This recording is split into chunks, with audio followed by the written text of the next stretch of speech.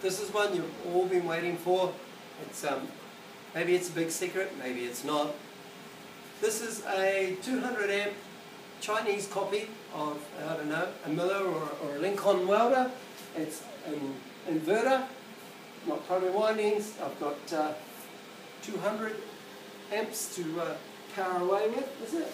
Is it amps? Yeah, I think it's amps. Anyway, it's a good machine. Took me a while to find it. Here's the big secret. I'll stop waffling. SodaStream CO2 is a perfect shielding gas for welding. A CO2 bottle, brand new in New Zealand, costs $40 to buy. You own it. Unlike the Argon or the Argo Shield that you have to rent on a monthly basis. This is the second regulator that I've ever had or used. So I've just made that on my trolley so it can just sit there vertically because it's gas, not liquid. And uh, this is the regulator right here. I just googled for ages, but it wasn't hard to find. It's like SodaStream or soda gas uh, regulator for welding. It's plain and simple. There's no on-off valve. You wind out the regulator, wind it onto the SodaStream bottle, nice and tight, and then wind the regulator in, boom, you've got gas coming through. These puppies are pressurized up to, I read it somewhere, a bucket load, man. It's unbelievable, their pressure rating. So anyway, there's a ton of gas in here. I've had one of these in perfect conditions. Started with almost full 5 meg mag wire wheel. So the small, small meg wire mag, like the one in here. I'll have a look. One of these almost full, welded a floor pan at a vintage V-dub with the doors down, no wind, just um, quietly purging through the CO2 through the welding nozzle. I have one of these bottles last the entire mag.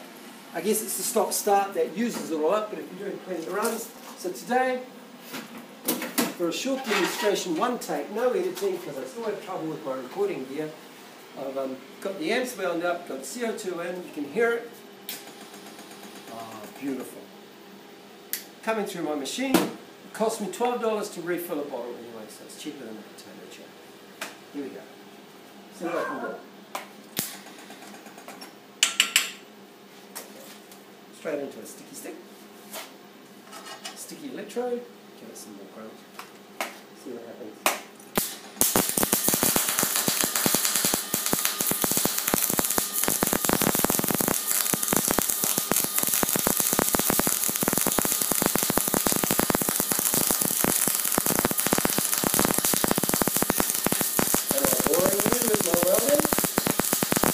the evidence by now, but I'm going to finish this run.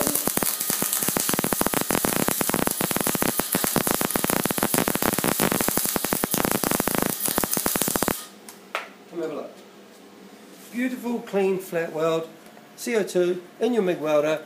I use this for all my panel steel repairs, so butt welding, plug welding, and as you can see, it's perfectly alright for repairing a cracked spade. This is going to save you bucket loads of pennies man of Scottish heritage, very happy.